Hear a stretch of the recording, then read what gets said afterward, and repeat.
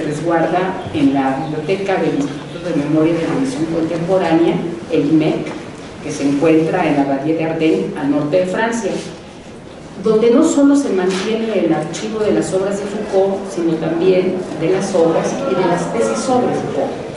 Es realmente un archivo que cuenta con un acervo impresionante y que, bueno, es una prueba más fehaciente del pensamiento vivo del autor. Por otro lado, también recordemos que Michel Foucault fue en 2007 el autor más citado en el mundo de las humanidades y de las ciencias sociales, con esta, eh, vamos a decir, obsesión estadística que ha estado midiendo todo, pues entonces sabemos que él fue el autor más citado, según lo reporta, en, y sigue siendo, ¿sí? en su momento el Times Higher Education de Inglaterra. Y si nos asomamos a la web y le preguntamos a Google, el nuevo profeta, este, nos arroja 24 millones de entradas. O sea que bueno, este, es el panorama. Entonces uno humildemente dice, bueno, vamos a recortar esta pequeña parte y entremos al autor de esa manera. Y, y también podría decir que una de las formas de rastrear la vigencia e importancia del pensamiento de un autor es a través de los autores que lo hacen suyo, compartiendo un campo de reflexiones que le son comunes y al mismo tiempo tratando de avanzar un campo problemático de estudio en particular. Yo en esta ocasión voy a destacar algunos pasajes de la obra de George Agamben como muestra. George Agamben es un autor familiar entre nosotros, inclasificable también como Michel Foucault desde el punto de vista del ordenamiento tradicional de las ciencias. No solo, y aquí solamente como un comentario entre paréntesis, no deja de ser interesante y hasta divertido, diré yo, la imposibilidad de acomodar los libros de Michel Foucault en una biblioteca clasificada según la nomenclatura de la Biblioteca del Congreso de Estados Unidos, que es la misma nomenclatura que usamos aquí en la UNAM. En la biblioteca de la UNAM se registran 3.194 entradas de las obras de Michel Foucault. Y los libros están acomodados en la sección B, que es la de filosofía, en la BD, que es estética y ética, en la BF, que se refiere a psicología, en la HM, que es lo relativo a sociología, en la K, que tiene que ver con derecho, N, artes, P, lenguaje y literatura, y R, medicina.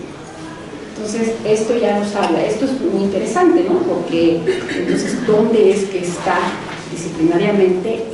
Obviamente que yo no voy a usar aquí ningún término de interdisciplina, ni de, transdisciplina, ni de multidisciplina, ni nada de eso, porque no es por ahí, ¿no? Epistemológicamente no es por ahí la cosa, sino cómo, vamos a verlo como justamente la originalidad del autor, la especificidad del autor, tiene que ver con construir otro tipo de preguntas y no responder las preguntas hechas con, digamos, con antelación. De hecho, ¿no? podríamos decir que, que ah, no, digamos, si quisiéramos ser muy, meticulosos, no podríamos decir eh, la, teoría, la teoría política de Foucault. ¿no? Foucault no aceptaría una frase así, ¿no? la teoría política de Foucault. ¿Por qué? Porque él no quiere inscribirse en, una, en una serie de, teorías políticas donde vienen todos, viene Hobbes, viene Rousseau, viene Montesquieu, viene Locke, después vienen otros, ¿no? y, él, y en esa, en esa línea. Justamente la idea de plantear esta cuestión de analítica del poder tendría que ver, tiene que ver mucho justamente con esta distinción del cambio de problemática. Y créanme que eso pienso yo, es lo más difícil de transmitir o lo más difícil de adoptar, de adoptar, pero sí de transmitir, porque si esto no es así, entonces nosotros jalamos al autor y lo llevamos pues, a los terrenos propios de, de nuestro campo. Y creo que esto no sería lo que hubiera esperado. Ahora, por otro lado, eh, refiriéndome a Agamben, eh, mi primer contacto con Agamben fue a través de la lectura de su libro Infancia e Historia, Ensayo sobre la destrucción de la experiencia, un libro, un libro difícil, diría yo, sobre todo que bueno, yo fue el primero que leí este autor y me costó bastante trabajo, publicado en 1978 y que fue traducido al español en 2001. Actualmente de Agamben debe haber traducidos aproximadamente más, más de una veintena de títulos. Y me parece que es a partir de la década de los 90, de los 90, cuando Agamben se interesa en profundizar en la obra de Foucault.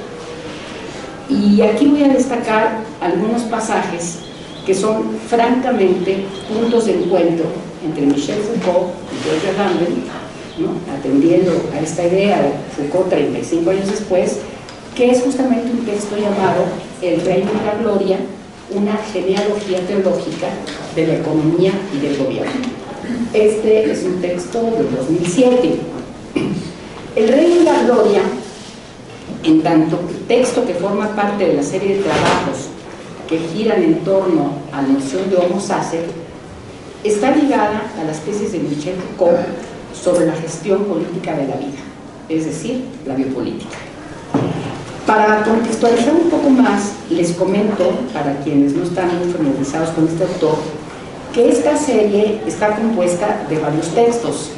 Tendríamos, en primer lugar, eh, Homo Sacer, el poder soberano y la vida nuda, en el que la tesis de Agamben tiene que ver con la inclusión de la vida biológica en los mecanismos de control del Estado, que no es algo que sucede como una novedad en la modernidad, sino que es la esencia de todas las formas de poder político de Occidente. esa es la tesis de Agamben y vamos a ver cómo la va a vincular con Foucault. Hay un siguiente texto, Vamos a hacer dos, que es Estado de excepción, que tal vez sea uno de los más conocidos, y lo interesante aquí es relacionar el estado de excepción con la postura de Estados Unidos en cuanto a la seguridad nacional. Y entonces esto es lo que conecta a Foucault, perdón, a Gamben con el seminario de seguridad, eh, territorio y, población. Exactamente, gracias. Eh, este, en este texto se indaga sobre los modos y las razones por, los que el poder del Occidente ha justamente asumido la forma de una economía. Y ahorita voy a retomar eso. Eh, hay un siguiente texto, lo que queda de Auschwitz, en donde Agamben se pregunta por el significado ético y político del exterminio. Y aquí nuevamente vamos a ver cómo, podríamos decirlo así, Agamben toma una estafeta de Foucault por lo que se refiere a la interpretación del fascismo. Eh, Foucault eh, había escrito en un texto Nuevo Orden Interior y Control Social, refiriéndose al fascismo, y voy a leer un poquito la nota, si la noción se refiere, dice Foucault, a lo que sucede en un país en el que un aparato de Estado no puede ya asegurar el cumplimiento de sus funciones, más que a condición de dotarse a sí mismo de un partido potente, omnipresente, por encima de las leyes y fuera del derecho, haciendo reinar el terror al lado del Estado, lo cierto es que el siglo XX no dispone aún del aparato conceptual para pensar el fascismo y el estalinismo. Yo leí este texto años atrás y sí, debo decirles que me impresionó esta, esta postura de Foucault cuando dice, sí, efectivamente, disponemos de muchos elementos, ¿no? disponemos de instrumentos teóricos para pensar la miseria, de instrumentos teóricos para pensar la explotación económica, la formación de la riqueza, pero no disponemos aún de categorías que den cuenta del exceso de poder. Y es, justamente este, esta noción de exceso de poder lo que a mi, manera de ver, a mi lectura, está conectando precisamente con el texto del Rey de la Gloria. Eh, lo traigo, hay dos versiones, yo traigo la del Gran Hidalgo, pero también lo hago en textos. eh, el reino de la gloria una genealogía, una genealogía teológica de la economía y el gobierno. Y, y justamente en este nombre, en este título, el reino de la gloria, destaca el subtítulo la noción de genealogía. Y está destacado, a mi modo de ver, en el mejor sentido Foucaultiano del término. Genealogía desde la perspectiva de una analítica del presente y no como búsqueda del origen en el pasado. Genealogía que sea capaz de introducir tanto las continuidades como las discontinuidades en la historia. Genealogía que se distancia de interpretaciones metahistóricas y sobre todo genealogía en este sentido documentalista, meticuloso y a veces gris, como justamente la definió Foucault. El Reino de la Gloria, entonces, es un texto que lo mismo se trae al presente la epístola de los Corintios de Pablo que las tesis de Lutero, que Clemente de Alejandría o Rousseau, que recurre tanto a Aristóteles como a Buenaventura, a Carlos Magno, a Constantino o a Diderot. Es decir, hay entonces esta eh, vamos a decir, exuberancia, diría yo, de referencias, pero no en un afán de elección, no en un afán de, conexión, no en un afán de juntar muchas cosas, sino de justamente encontrar, y a eso voy un poquito más adelante, eso que eh, Foucault, perdón, que Agamben, bueno, también Foucault, a llamar el paradigma. Además, eh, la, bibliografía citada en este texto contiene pues, alrededor de, ¿qué les puedo decir?, unas 150 referencias, dentro de las cuales justamente se destaca el seminario Seguridad, Territorio y Población de Michel Foucault, que corresponde, como ya vimos con anterioridad, a este, a este eje de trabajo en el que Foucault pone de manifiesto las modalidades del ejercicio del poder atravesadas por el tránsito del estado territorial al estado de población. Solo una referencia a Foucault en estas 150 referencias parece poco, pero si leemos este texto con cuidado, podemos apreciar que este seminario atraviesa toda la obra. El seminario de seguridad territorio y población está presente a lo largo de toda la obra de Agamben. Eh, además, además de, este seminario, que, es con el, que es uno de los elementos de diálogo que Agamben tiene, también están presentes las nociones de episteme, con las que Agamben construye su noción de signatura, y por supuesto también, como ya lo dije, la noción de genealogía, en la que también añade arqueología, con las que Agamben hace su propuesta para lo que él va a llamar la construcción paradigma.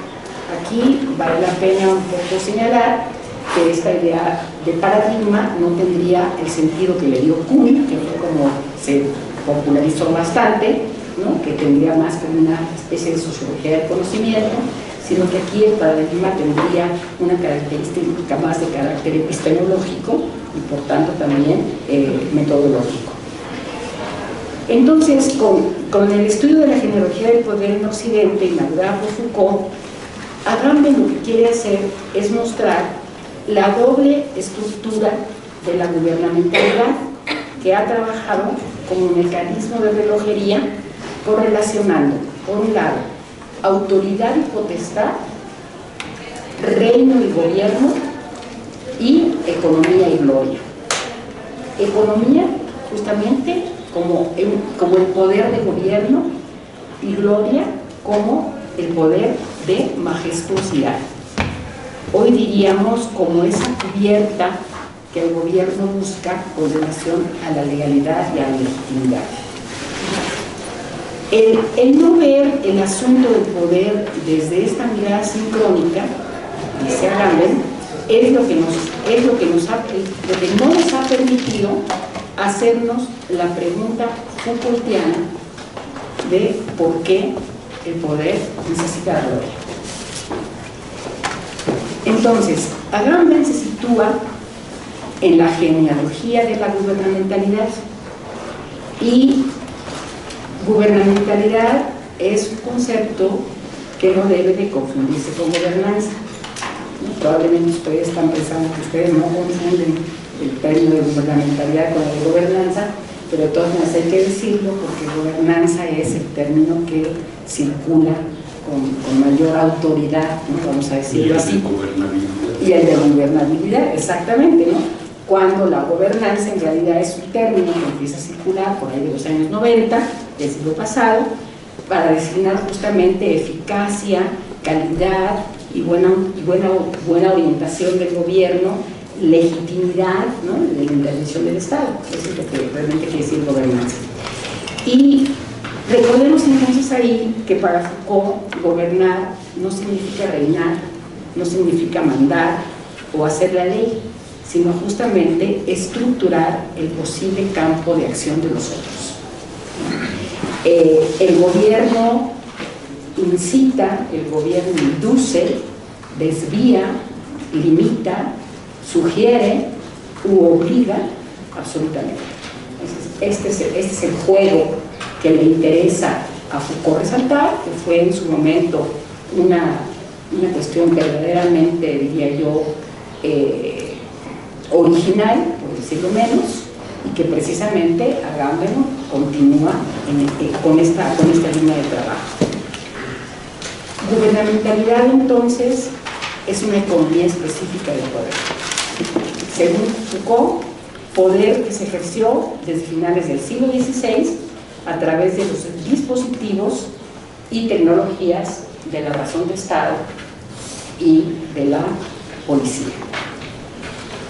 Ahora bien, Agamben comparte esta postura, pero agrega que su trabajo va a consistir en tratar de buscar y comprender las razones internas por las que las investigaciones, las investigaciones de Foucault no han llegado a completarse. Lo que Agamben le propone a Foucault es estirar los límites cronológicos que éste le asignó a su genealogía de la gubernamentalidad, llevándolos a los primeros siglos de la teología cristiana. Entonces, aquello que Foucault nos dice que se empieza a gestar en el siglo XIV, en el siglo XV, en el siglo XVI, todo el recorrido que hace por los diferentes, eh, los diferentes momentos del proceso de la economía, desde el mercantilismo hasta llegar justamente al neoliberalismo, al cual ustedes recordarán que para Foucault el neoliberalismo no es un sistema económico, sino justamente el neoliberalismo es una forma de gobierno. Eh, la tesis es que la, la, gubernamentalidad y sus formas de ejercicio del poder son efecto de un dispositivo creado hace dos milenios. Entonces, cuando bueno, yo les voy a contar aquí algo, ¿no? A veces estamos en, clase de esto, yo les pongo un ejemplo a mis alumnos de decirles la señorita de la ventanilla. Entonces, la señorita de la ventanilla es un concepto cotidiano, porque uno llega con la señorita de la ventanilla y la señorita de la ventanilla puede cambiar nuestras vidas. Porque puede decir, no estoy, no llegó, ya no fui a comer, venga mañana, le falta un y uno verdaderamente se queda auto. Bueno, entonces yo decía, claro, la señorita de la ventanilla está entrenada desde el siglo XVI, ¿no? Es decir, este justamente proceso de gubernamentalización que yo indicaba en el siglo XVI, que como ven con Agamben no es el siglo XVI, sino precisamente hace dos milenios de construcción de, esta, de estas formas. Eh, dice aquí, ¿no? Este, incluso el propio Agamben vuelve en su texto a recordarnos esta idea del dispositivo. Por ahí hay un texto de Agamben que se llama así, que es un dispositivo que por ahí circula, donde ustedes saben que se va apegando esta mirada de Foucault. Y, eh, y bueno, él, él, señala lo que Foucault ya nos había dicho, que el dispositivo siempre está inscrito en una relación de poder y que la gubernamentalidad entendida como el gobierno de los hombres está, vamos a decirlo así, dispositivamente organizada. Y efectivamente, para Foucault, el dispositivo se materializa en una red de relaciones entre los elementos más heterogéneos y a su vez esta red queda instalada, puede permanecer indefinidamente debido a un proceso de sobredeterminación funcional. El ejemplo clásico es lo que va de la arquitectura de una cárcel con visión panóptica, sabemos, ¿no? el panóptico de, de Betham, a los mecanismos de seguridad y vigilancia actuales. Ese me parece que es el ejemplo más específico, más reciente de la, manera de funcionar un dispositivo. Cuando, cuando Berham, eh, amigo de, John Mill, están pensando, están construyendo esta filosofía utilitarista, donde hay que, hay, que, hay que trabajar lo más con lo menos, pues entonces diseñan esta cárcel donde basta un hombre que puede mirar eh, a, todas las celdas y eh, no tenerlos encadenados con esas bolas que, no se pueden mover y poder vigilarlos. Pero el trabajo de, dispositivo de este mecanismo es lo que justamente llega hasta los mecanismos de control eh, que son los que nos tienen ahora verdaderamente vigilados. Va entonces, eh, va justamente del panóptico al panóptico. Ese es justamente, me parece, el mejor ejemplo, del panóptico al panóptico, al panóptico como ya justamente como, como el dispositivo en acción. Y ahí nosotros vemos a través de todo este texto, eh, y eso es lo que me parece muy interesante, ver todo lo que Agamben, él tendrá lo suyo también, pero todo lo que él puede trabajar a partir de estas coordenadas que Foucault nos proporciona. Eh, hay que decir también que él también toma alguna idea de Deleuze, ¿no? cuando Deleuze está hablando de los dispositivos Foucaultianos y dice, ¿no? Deleuze en algún lugar, los dispositivos Foucaultianos son verdaderas máquinas para hacer ver y para hacer hablar noción que se encuentra precisamente en el capítulo 5 de este texto, que se llama justamente la máquina providencial. De ahí el título que para este, esta charla.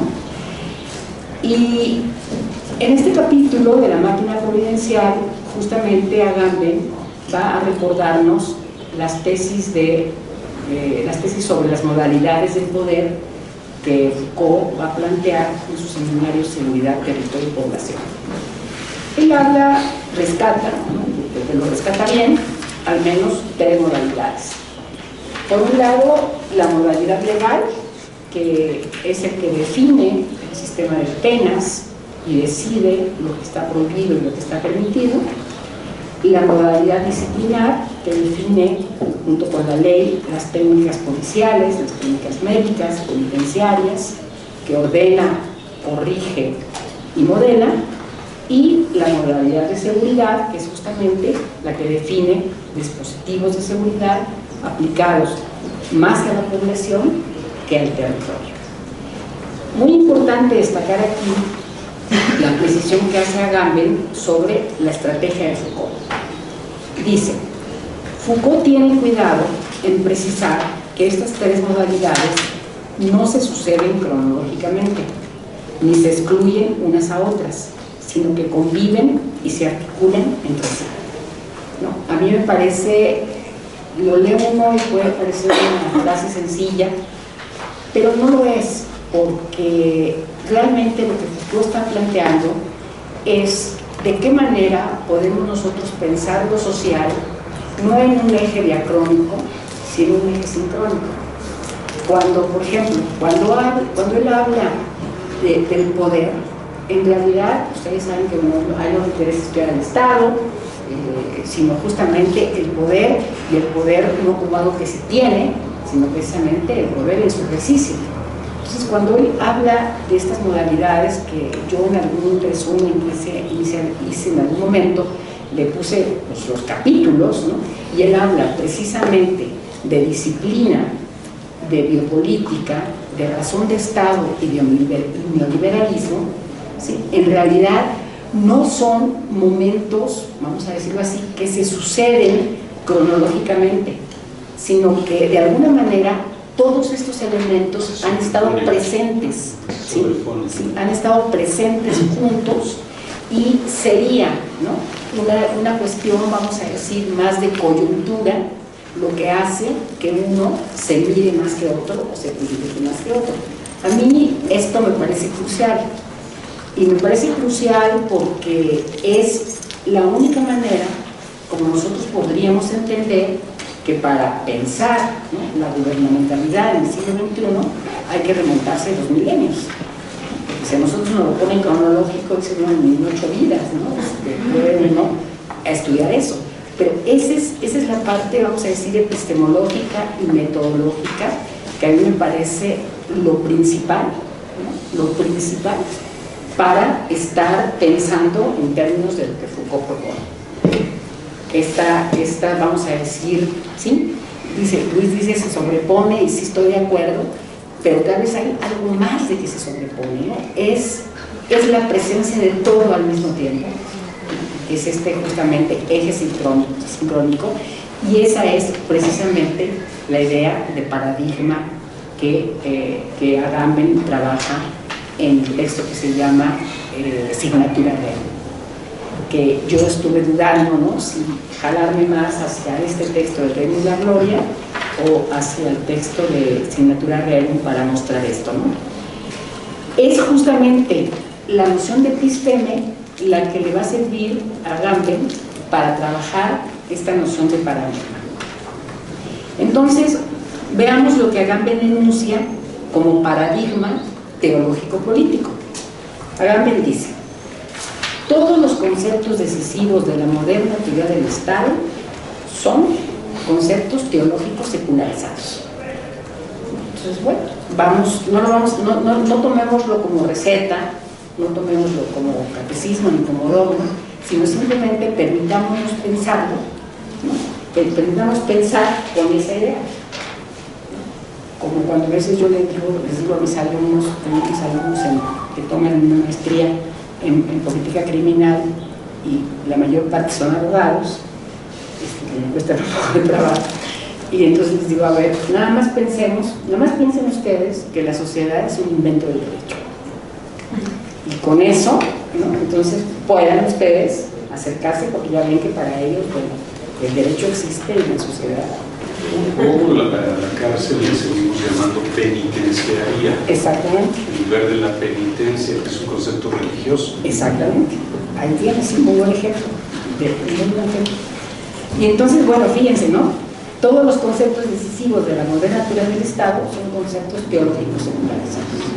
Entonces aquí en unas 400 y tantas páginas, el Agamben va a una cantidad de autores precisamente para ver cuáles eran las problemáticas que se les presentaban en términos de lo que era la oeconomía, es decir, la casa, y cómo la oeconomía dejó de ser tal para pasar a la política. Y cómo en este traslado se, se, llevan, vamos a decir, no nada más las palabras o nada más los conceptos, que pues sería lo de menos, sino la forma de pensar. eso es, lo, que me parece que Agamben señala muy bien. ¿no? Y, por eso digo que no, no quiere decir esto que lo teológico y lo moderno, o que entre lo teológico y lo moderno existe una identidad, sino que justamente eh, eh, no existe una, una entidad de conceptos, sino que se trata precisamente de esta, vamos a decir, relación estratégica particular que nos permite darnos cuenta de que los conceptos políticos pueden ser remitidos a un origen teológico. Entonces, eh, podemos empezar a conectar cómo está esta idea del exceso de poder, que es justamente lo que, eh, lo que no se puede explicar. El exceso de poder no se puede explicar cuando, por ejemplo, eh, ustedes deben de conocer esa, esa escena, ¿no? de aquel, de aquel vagón que va con los judíos hacia un rumbo que finalmente se desvía y eh, llegan a un punto donde prácticamente todos están muertos, un poco entre el frío y el aire, pero en el centro, en el centro quedan 19 niños, me parece que son, 19 niños que quedan vivos y que bajan y salen y corren, ¿no? que una vez que van corriendo por el bosque, pues los nazis los matan a todos, ¿no? a estos niños. Entonces, esos, esos excesos, pongo ese ejemplo, pero hay muchos, esos excesos de poder son justamente lo que Foucault dice que no hay explicación, que no ha habido explicación en el siglo XX, y también me parece que es la pregunta que anima a, a Gamben a hacer todo este estudio y a remitirlo a estas antípodas, no vamos a decir, de, hace dos milenios. Eh, aquí no me voy a detener tampoco en esto, pero no lo voy a señalar. Agamben dice, la secularización entonces no es un concepto, sino una asignatura, una asignatura en el sentido Foucaultiano, ¿no? Asignatura como, como aquello que marca, ¿no? La señal que marca algo, porque dice la asignatura es aquello justamente que marca, pero que excede a un concepto y lo remite a una determinada interpretación sin que por ello se cree un nuevo concepto. No, no, no detenerme en esto porque es un poquito complicado, pero la idea aquí sería justamente decir que, eh, que nosotros desde hoy ¿no? podríamos, podríamos intentar comprender este exceso de poder desde la perspectiva de la secularización de un, de un pensamiento, de un pensamiento teológico. Bueno, por último señalo algunos puntos de coincidencia entre estos dos pensadores, o, no sin antes decir que lo, que lo que más admiro y respeto es cómo un autor es capaz de avanzar en el pensamiento conservando todo lo anterior. A, mí eso me, a mí eso me gusta, a mí eso me llama la atención para, para trabajar, eh, más allá de cuando tratamos de decir, no, pues este autor se equivocó, o yo, yo voy a entender esto de esta manera para entonces esto. Yo, lo, yo no lo juzgo, pero eh, me parece que, que, esto es así, ¿no? Que, que, el pensamiento avanza de esa manera, ¿no? el pensamiento avanza cuando nosotros somos capaces de llevar ¿no? todo de un autor hacia un nuevo campo y hacerlo trabajar y hacerlo avanzar, avanzar en el sentido que para mí eso sería como el sentido, el sentido crítico del asunto. Y, y, bueno, ya que aquí dijeron lo que me dijo el psicoanálisis, que no voy a tocar ahorita, pero sí, sí, sí les comento eh, lo que a mí me motiva mucho, justamente con la relación que se produce entre Freud y Lacan. ¿no? O sea, cuando, cuando Lacan dice, eh, Freud, señaló, Freud dijo, toqué la roca viva de la castración, ¿no? y ahí me quedé, y no sé qué sigue, y entonces Lacan llega y retoma justamente ese momento para avanzar, este, yo, yo interpreto que entre Agamben y Foucault hay una cosa similar, que conservando todo este pensamiento, no yendo para atrás y decir, bueno, yo esto de Foucault lo voy a quitar y lo voy a poner de esta manera, de otra manera, porque este autor me parece, eh, que puede ser de mayor utilidad, cómo es de esta manera que eh, pienso yo que, que, el pensamiento avanza, que el pensamiento, el pensamiento se conserva. Eh, en ese sentido, ¿no? quiero pensar de igual forma ¿no? que Agamben parte justamente de las preocupaciones de Foucault que tienen que ver con estas cuestiones, ¿no? es decir, cómo vamos a pensar, o sea, con qué vamos a pensar y en ese sentido fue cuando Foucault dijo, hago historia crítica del pensamiento, ¿no? Una historia crítica del pensamiento que no es una historia de la filosofía, no es una historia como filosofía de la historia, que no es tampoco una historia de la filosofía, que no es una historia de las ideas y que tampoco es una historia de las mentalidades. ¿no? Es decir, es la lucha que Foucault tiene para salir de estos campos, ¿no? Y que entonces la historia del pensamiento se dice genealogía, en la que no se trata de enumerar ideas o pensamientos, sino justamente de leer en ellos las reglas de formación que han hecho posible esos pensamientos. Que la genealogía posibilita entonces la mirada de lo discontinuo y no la conservación de esta linealidad positiva.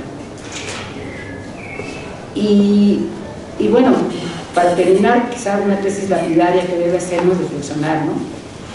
No podemos pensar otra cosa mientras el positivismo sea hegemónico. Es decir, mientras ese, eso se nos impone, se nos imponga, imponga, perdón, como un pensamiento. Y pues en eso consiste el trabajo que, que hacemos. Justamente, eh, y bueno, no sé si ya paro y podamos, este, justamente aquí una reflexión en relación a, a lo que sería crítica, ilustración y modernidad, ¿no? Eh, Foucault, ustedes deben conocer ese texto de, qué es la crítica, donde precisamente él eh, eleva, eleva la crítica a una actitud, es decir, la crítica es una actitud, inclusive, yo dice más adelante, este, una, una actitud virtuosa, ¿no? en el sentido de cualidad humana que implica actuar bien. Eh, y, y, ahí sería interesante decir, ¿no? Cómo, cómo Foucault plantea que sostener que la crítica existe en relación con algo distinto de ella misma, como lo afirma Adorno en 1955, es decir, que también tiene pues, una influencia sobre Foucault, ¿no? Eh, tomar distancia del juicio mecánico como modelo de crítica, es decir, para que la crítica opere, tiene que captar, dice Adorno, los modos en que las propias categorías se instituyen. En su acción mecánica, el juicio subordina lo particular a una categoría general ya dada, mientras que la crítica debe interrogar precisamente sobre la reducción de esta subordinación. Es decir, eh, también a Foucault, y lo dice en una entrevista, dice, a mí me critican porque me dicen, usted critica pero no propone. Y, y como es muy común eso, ¿no? Si usted no, si usted no propone, mejor cállese, ¿no? Digo, ¿para qué? ¿Para qué está usted hablando si no va a proponer nada? Eso nos dicen todo el tiempo. Cuando realmente la crítica es este ejercicio de pensar, que no necesariamente nos puede llevar a una propuesta, mucho menos una propuesta inmediata, porque hasta donde yo he leído, creo que ninguno de los autores tiene una propuesta absolutamente nada, ¿no? Es justamente este, este ejercicio, ¿no? Y, bueno, en esta misma línea de Michel Foucault, 23 años después de este texto de Adorno, advierte precisamente sobre estos juicios mecánicos y vuelve sobre el asunto de la crítica. En, en las propias palabras de Foucault, cómo ocurre, ¿no? que sería esta, eh, vamos a decir, este eco que hace Foucault del texto de dialéctica de la ilustración de Adorno, y Horkheimer, que si ustedes recuerdan, también empieza con la misma pregunta que se hace Foucault y Agamben. En las palabras de Adorno era cómo es posible que después de este grado de civilización alcanzado hayamos cometido este acto de barbarie. ¿no? Es decir, acá, en las propias palabras de Foucault, cómo ocurre que la, que la racionalización conduzca a un por el poder. Y pues, bueno, ¿qué voy a dejar.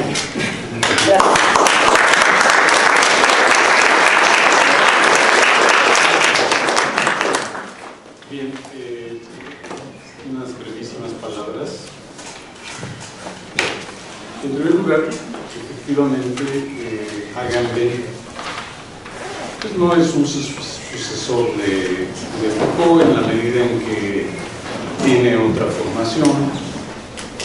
Eh, inclusive varios de los discípulos de Agamben como Esposito, como Cavalieri, eh, tiene una formación más cristiana, ¿no? Eh, pero sí es interesante cómo Agamben eh, se propuso empujar la obra de Foucault hacia preguntas solamente enunciadas y no trabajadas de fondo por Foucault eh, para ver el tránsito que se puede producir entre la biopolítica y la eh, necropolítica. Es decir, la biopolítica empujada a las políticas de exterminio, no solamente administración de la vida, sino también administración de la muerte. Y, con ello eh, aparece el extremo, inclusive más allá de la aniquilación de la otredad, la aniquilación del mal dentro de sí. Todas estas políticas que surgieron con el nazismo para eh, liquidar a los, digamos, Foucaultianamente a los anormales, a los enfermos, a los deformes, a todos aquellos que genéticamente conservaban posibilidad de transmitir ese mal a través de la reproducción. Y entonces no solamente utilizaron la aniquilación, la eugenesia, sino también la castración, a efecto de garantizar la no reproducción dentro de la propia raza. Entonces ahí vemos pues eh, este exceso de poder que Agamben precisamente califica como estado de excepción. Eh, lo interesante en Agamben, creo que ya lo dijimos aquí, es como las bases del estado de excepción se encuentran en la propia matriz de la democracia. Es decir, los estados pueden darse el extremo de apropiarse de la declaración de estado de excepción. Así es. Este, en fin, yo quería eh, señalar estos elementos. Eh, y bueno, pues me gustaría que eh, aparecieran las preguntas, las dudas, los comentarios, de tal manera que aprovechemos presencia del aula para que eh, nos haga algunas aclaraciones con respecto de sus propios anunciados.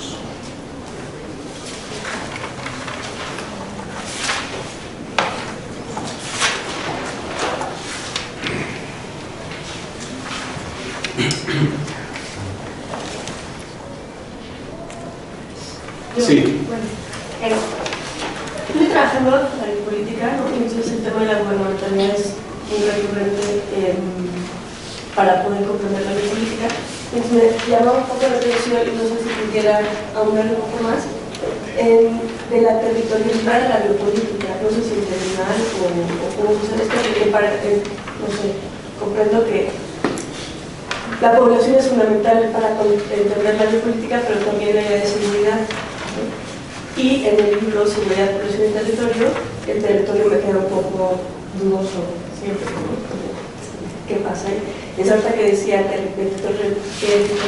territorialidad bien política, me me ¿no? ¿Cómo, ¿Qué papel juega el territorio en, esto? Sí, ahí más bien, eh, o sea, Foucault distingue eh, el ejercicio del poder cuando el territorio es el elemento fundamental. Por ejemplo, si nosotros lo, analizamos desde la perspectiva de, las estrategias militares, porque habrá que recordar algo también de Foucault, Foucault dice que el elemento central para el análisis de, las relaciones sociales es la guerra. Eh, una cuestión muy interesante, ¿no? porque por ejemplo, al menos desde la sociología, yo que soy de sociología de origen, pues es un tema que jamás se ve, ¿no? Es decir, no hay un autor eh, que se precie de ser un gran autor sociológico que tenga a la guerra como un elemento central. Y eso es muy interesante. Viene este texto, esto está justamente en Omnes Singulatum, que es eh, crítica de la razón política. Justamente ahí Foucault va a plantear esta, esta tesis, ¿no? esta consigna incluso. ¿no? ¿Quieres entender? Entonces, cuando, estamos hablando de un Estado territorial, el territorio justamente es la, base, ¿no? Y el tránsito que incluso eh, Foucault va a plantear entre la razón de Estado y el, liberalismo, es precisamente el tránsito de un estado territorial a un estado de población. Ahí quizás falta esa palabra, más que de territorialidad a política, vamos de territorialidad a población.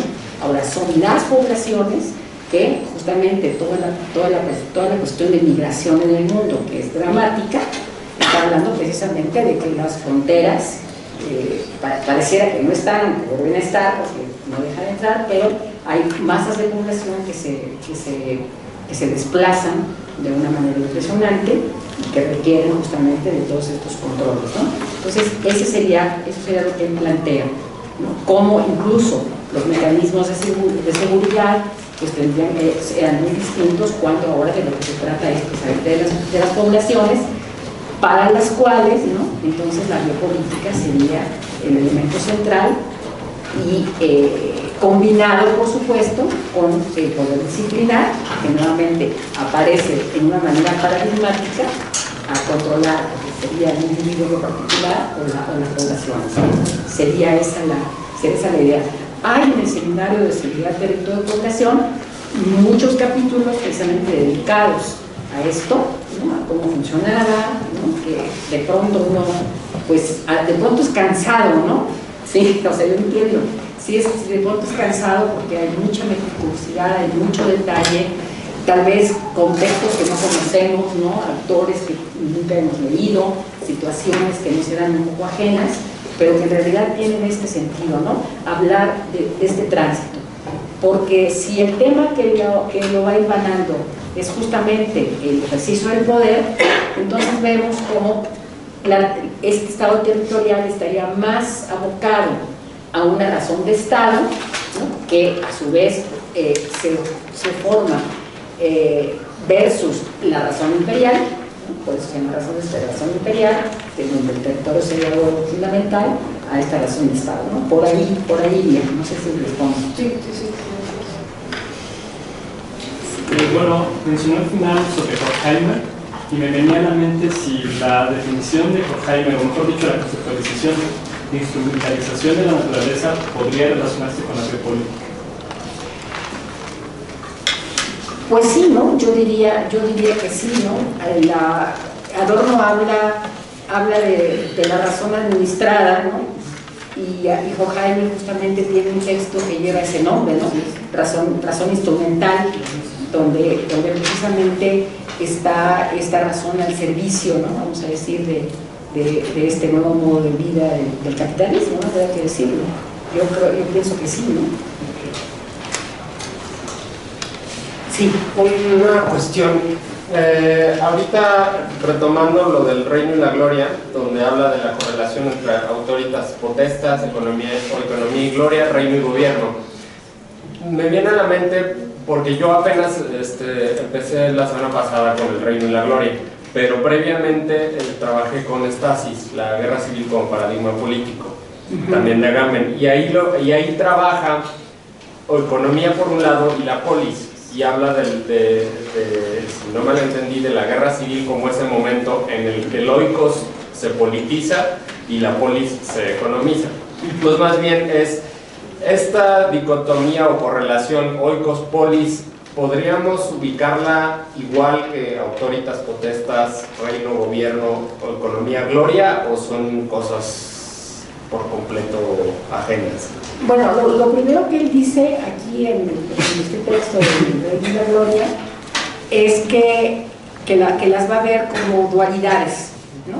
Es decir, eh, le interesa, ¿no? Le interesa justamente este, este, este contraste, ¿no? Porque va, vamos a decir, aquí, aquí dice reino y gloria título, pero podríamos pensarlo en reino-gobierno, ¿no? Lo que, lo que se reinó, vamos a decirlo así, ahora se gobierna. Sería un poco, la, un poco la idea. Donde lo que priva para la parte del reino sería precisamente la teología política y lo que priva para el gobierno es la teología económica. ¿no? Así de plano lo dice. Y sí, a mí me parece que va haciendo una, un, montaje, ¿no? Una superposición de estas cuestiones, aunque sería en el tercer, en, el tercer binomio, donde él más se, se, se, va, se va a detener, ¿no? Porque por un lado, si lo vemos desde la perspectiva de la teología política, pues tenemos la, la trascendencia, vamos a decir, del poder soberano, que justamente es Dios, ¿no? con este, la, la, vamos a decir, la inmanencia del gobierno, que es la administración, vamos a decir, la idea de, de no reelección, ¿no? tiene que ver justamente con, con, exorcizar, vamos a decirlo así, la trascendencia, ¿no? Cuestión que, como sabemos, pues no todos aceptan, ¿no? Sino justamente se sucumbe, ¿no? Se sucumbe a, esa, a, esa, a, ese, a, ese, exceso, ¿no? Que sería de, la, perpetuarse, ¿no? Realmente en el poder. Hay alguien que ya nos avisó que no lo va a hacer, ¿no?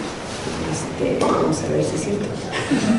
Pero vamos, entonces la lógica es la misma, ¿no? En esta correlación polis-economía es un poco también polis como, pues quizás no lo trascendente, pero híjole, que ahí, no, sabría cómo plantearlo, porque o economía en, en, este libro de Stasi sí queda claro que esto pues, también la casa, la administración, y que podemos nosotros decir, ok, el gobierno, pero polis, eh, cómo lo usa en este otro libro no me queda claro cómo insertarlo este, Just, el de polis, al, al, momento, de, al momento de, de volverme a encontrar con la economía otra vez.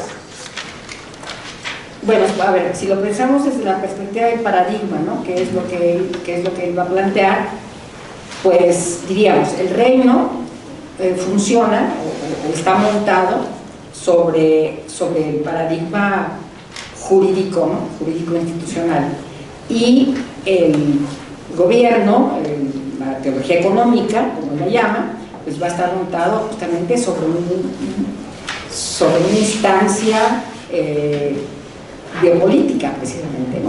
Eso sería, sería por un lado. Eh, y, me parece que lo que él quiere designar, de, de distinguir mucho es que desde la perspectiva de la, de la teología política, el asunto de la soberanía es central, ¿no? A diferencia de la teología económica, donde el asunto central es justamente lo económico y el gobierno. Y, y sí, ¿no? O sea, aparte me parece que, que, de la contradicción que se produce de la no conciliación entre lo que por un lado son los estados nacionales, ¿no? a partir del siglo XIX, que se construyen, y la propia lógica del capitalismo, ¿no? Porque sabemos perfectamente que en estricto sentido el capitalismo no, no, procede por una lógica nacional, sino precisamente por una lógica de valoración, es decir, va ahí a donde se valoriza. Entonces, pues, pues, podemos entender lo que justamente ahora es el neoliberalismo, un neoliberalismo que además pues, está cantado desde hace muchos años, eh, pues, justamente en un texto de Lenin, por ejemplo, ¿no? de, el, imperialismo fase superior al capitalismo, donde ya decir esas cosas hasta se siente uno raro de decir esas frases esas palabras, pero es que es cierto, ¿no? O sea, si tú abres el texto y lees, ¿no? es justamente lo que está planteando ahí eh, Lenin como, como la forma que el capitalismo adopta, este, pues parecería ser que estás leyendo a un neoliberal ¿no? que está detallando ese tipo de cosas, ¿no? Pero sí, sí entiendo, sí entiendo el, el, asunto que, que, tú señalas, eh, pero bueno, habría que verlo, ¿no? En términos providenciales, justamente, eh, desde la perspectiva de la teología política o el reino, hablaríamos de, de, una, de una providencia, vamos a decir, incluso territorial, ¿no? Por decirlo a diferencia de acá, que sería realmente una, un tipo de providencia que, que, pasa por otros lados, ¿no? que está por el estado de bienestar o por la seguridad para todos, etcétera, ¿no? no incluso recupera esta frase, ¿no? Del el rey reina pero no gobierna. El rey reina pero no gobierna, exactamente. Sí, exactamente. O sea, este gobierno que es un gobierno realmente meticuloso, ¿no? Ahora eh, todo es gobernado, ¿no? Eh, lo que se mira como, eh, no sé, ¿no? Pero lo que se mira como conquista o lo que se mira como el ejercicio de la libertad, ¿no? Que sería, por ejemplo, vamos a decir, el ejercicio de la sexualidad, pues en realidad, si lo vemos desde esta perspectiva, no es tal, ¿no?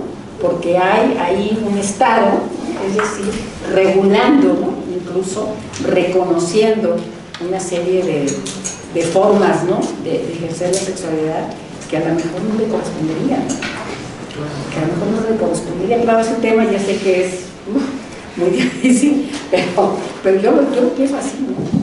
Y a, veces digo, y lo digo, yo, yo digo con todo respeto, realmente lo digo con todo respeto, pues el closet está mejor, ¿no? el closet pueden suceder otras cosas, ¿no? Esto, ¿no? Por ejemplo, esta, esta, cuestión, esta meticulosidad del gobierno, ¿no? Sí, sí, que el afán ese de querer codificar todos estos derechos lo que últimamente está haciendo es administrar hasta lo más, no sé decir privado, pero lo más... Sí, sí, realmente, realmente sí. Fíjate, ahí, por ejemplo, ahorita que lo mencionas, pues eh, justamente funciona como dispositivo, justamente se convierte en un dispositivo. Y miren, yo les voy a comentar algo a propósito de esto, ¿no? que no sé si viene mucho al caso, pero a mí me impresionó mucho. Eh, a mí, bueno, se acercó conmigo un profesor de la facultad y me dijo, bueno, que quería hacer una pregunta, que me daba un poco de pena, y dije, bueno, pues ¿de qué se trata? Se, se, es, era profesor de, de, de diseño gráfico y se refería a una alumna suya de diseño gráfico. Y la alumna, muy seria, se acercó con él y le preguntó que si ahora que ya estaba en cuarto semestre, tenía que escoger si tenía que ser lesbiana. Entonces, él muy, a mí me ha dado vueltas, eso tiene como tres meses, me ha dado vueltas, se me ha contado todo el mundo. sí, porque, porque es muy interesante, ¿no? O sea, es muy interesante qué escuchó, o sea, qué pensó. Entonces ahora hay que escoger, ¿no? Ahora resulta que tenemos que escoger. Entonces ella, ¿cómo lo asoció con la matrícula? No entiendo. ¿Qué relación tenía eso con la tira de materias? Tampoco entiendo. Pero ella supuso que estaba en cuarto semestre implicaba que tenía que escoger. Esto también tiene que ver con, con lo político, ¿no? Pero bueno, sé que no contesté lo que me preguntaste. No, no, sí. Como psicoanalista, ¿cuál sería un poquito el enfoque de esa pregunta? No, no me hagas esa pregunta. Mejor invítame a otra ocasión, pero hacemos ese psicoanálisis si quieres. Bueno, habría que decir, ¿no? Hay algo, hay algo del exceso, ¿no? Digamos ahí, que tiene que ver con lo que, pues con lo que Freud podría haber enunciado en su momento como más allá del principio del placer. Pero es todo un tema, ¿no? Sí. Si quieren un día, con todo gusto vengo y les cuento. Sí. Pues es, volviendo a este mismo tema de la sexualidad, es actualmente como muy conflictivo, ¿no? Eh, escuchaba el otro día respecto a los migrantes que viajan de México a Estados Unidos y regresan, dicen, después enfermos, eh, portadores de VIH y regresan a comunidades pequeñas y esto se convierte en un problema, ¿no? Entonces, pues ahí el, la biopolítica, ¿cómo, cómo está trabajando, ¿no? Influyendo en, en todo esto, porque no es nada más eh, en los migrantes, no es en, en general en, en una población pues diría muy importante, ¿no? Muchísimos niños abusados sexualmente que no se ocupan de, de esos asuntos. No hay como muchas estadísticas, no hay denuncias. Bueno, yo creo que estadísticas hay, ¿no? Sí, ya, Pero, pero muchos casos no se denuncian, o sea, es mínimo lo que, lo que se denuncia. Pero ¿cuál sería, el- cuál sería la pregunta? Eh, en qué forma está allí influyendo la, la política, porque al parecer no hay una atención como si no importara. Mira, yo, yo, escucho lo que dices y, me hace pensar en, en algo que me plantea bastante bien cuando, cuando pensamos cuando pensamos en los excluidos, ¿sí? la excluida, eh, la pensamos fuera, ¿no? La pensamos fuera del mundo de los incluidos. Y, realmente no se, trata, no se trata de eso, ¿no? sino que en la política los, los excluidos, vamos a decir, son los incluidos dentro.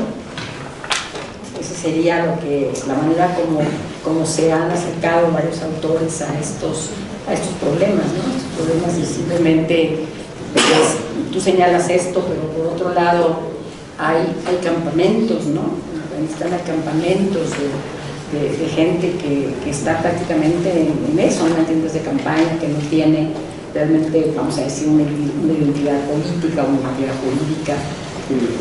Han nacido ya muertos en campamentos. Exactamente, ¿no? Y sucede ese fenómeno no nada más en los excluidos o migrantes, países del primer mundo, todos los niños ahí. Hasta ahora están saliendo, pero siempre ha habido. Entonces no, no puedes tomar como que pobrecitos nada más los migrantes, ¿no? Se da en todos, es, es más profundo. O sea, el primer mundo que tienen más de todo, ¿por qué se da? Ahí sería la pregunta. Sí, yo creo que estamos un poco perdiendo la perspectiva, porque tendríamos que hablar entonces, y es cosa que no concierne creo que a Foucault ni a aunque si lo tocan para como dispositivo cultural, pero tendríamos que hablar, por ejemplo, de nociones como sistema género, y de todo lo que implicaría las interacciones de género, las identidades de género, las diversidades. Entonces, como un dispositivo cultural. Entonces, yo creo que quizá escapa un poco de, de verdad. Y en cuanto a la administración biopolítica, pues también quizá se puede responder a través de eh, aquí, quizás eh, habría que pensar en términos de una población sin territorio. Es decir, una población que fluye en los territorios, pero que no se corresponde con el territorio, que son los migrantes. Y eh, sí está, digamos, muy marcado por aspectos biopolíticos, en el sentido de quién gobierna a los hombres migrantes. Y entonces eh, aparece ahí mecanismos de diversas formas, autoprotección, agrupamiento, eh, protección de mujeres,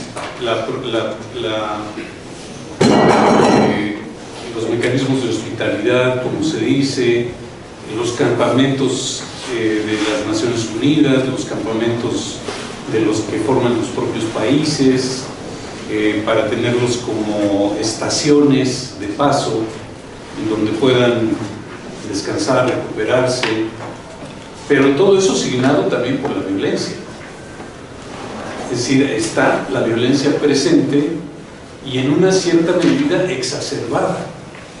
¿Por qué? Porque hay un Estado débil que no tiene mecanismos como para proteger y deja ser en una gran medida. ¿no? Este, por ejemplo, toda la migración que viene de Centroamérica hacia Estados Unidos, eh, bueno, hay muchas leyendas urbanas, pero algunas dicen que eh, se propician desde las embajadas americanas que empiezan a soltar el rumor de que va a haber una caravana, de que ahora sí los van a dejar pasar, y entonces empieza el rumor, el rum rum, y se empiezan a formar las corrientes migratorias.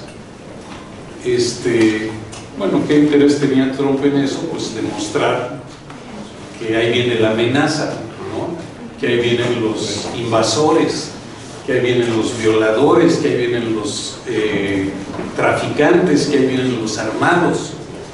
Cuando los vemos, pues no corresponden estrictamente a esas categorías, sino que en una gran medida también aparecen como víctimas. Entonces, sí hay una dimensión biopolítica de la migración eh, en la globalización que tiene que ver con el- la nulificación del territorio. No, sí, eso me queda claro, eso es administración biopolítica, pero concretamente en la pregunta que hacía la compañera respecto a la interacción social y respecto de la sexualidad, ¿no? Porque hay muchos migrantes que vienen y están, este, de alguna manera provocan contagios a su comunidad y eso qué, qué respuesta biopolítica hay eso, ¿no? Entonces yo lo que planteo es que, bueno, eso quizá excede, o sea, evidentemente va a haber una respuesta biopolítica, pero quizá la interacción eh, de esa situación podría verse además de ser retrospectiva, ¿no? que no incluye, o bueno, sí incluye la biopolítica en cierta forma, pero también tendríamos que entender otro tipo de conductas y se podría hacer a través de apenas. Claro, lo que, quizás nada más para terminar, lo que está dentro de eso es una noción de riesgo. Y yo creo que la noción de riesgo es una noción biopolítica. Pero también tiene que ver con la construcción de la masculinidad.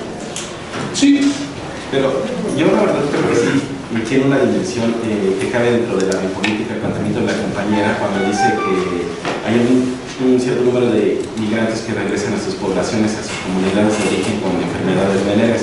A mí me parece que esto corresponde a una cuestión de higiene pública, pero también a su vez dentro de este eh, dispositivo donde hay un montón de elementos heterogéneos, allí yo creo que el que juega principalmente en este tipo de fenómenos es el de la necropolítica, porque también eh, está esta otra dimensión dentro del dispositivo que juega, que se despliega, que corresponde a una planificación negativa, es decir, una planificación de la indiferencia general, a una planificación de la no intervención. Puede ser este caso o también en, eh, en, por ejemplo, en los estragos de fenómenos naturales, climáticos o incluso en las epidemias. ¿no? Entonces esto también corresponde a una dimensión política que está desde luego eh, conectada con eh, la racionalidad de Estado, porque es una, es una forma de planear las cosas. Se está omitiendo el intervenir sobre esos, eh, esos fenómenos que están eh, pasando, ¿no? Y podemos remitirnos eh, a un pasaje de La voluntad de saber de Foucault, donde él habla de que pues el rey dejaba morir y así- dejaba vivir y hacía morir, ¿no? Y, este, y bueno, Foucault lo invierte y dice hacer vivir y dejar morir, pero en este sentido que corresponde, me parece, a, una cuestión de necropolítica, que desde luego está conectada con una racionalidad de Estado, con una policía, no sé si esté conectada con una policía de Estado, con la policía dice, no sé porque ahí tengo unas dudas de cómo Foucault transita en ese curso, pero yo creo que allí podemos enunciar esta, esta fórmula, pero más bien diciendo dejar morir y rechazando hacer vivir. Entonces yo creo que, pues bueno, parece menor, pero creo que tiene eh, cierto peso que habría que este, pues, matizar eh, con ciertas nociones que trabaja Foucault en varios momentos. Yo, quise, bueno, me imaginé que cuando te escuchaba que tal vez pensabas la, la biopolítica como, eh, como política pública de salud, ¿no? O sea, si lo, si lo viéramos así, pues entonces tendrás razón, pero no es eso la biopolítica, ¿no? O sea, realmente lo que está planteando eh, Foucault es precisamente esta gestión calculada de la vida, ¿no? Hay un cálculo, ¿no? Hay un cálculo de la vida que se ejerce políticamente.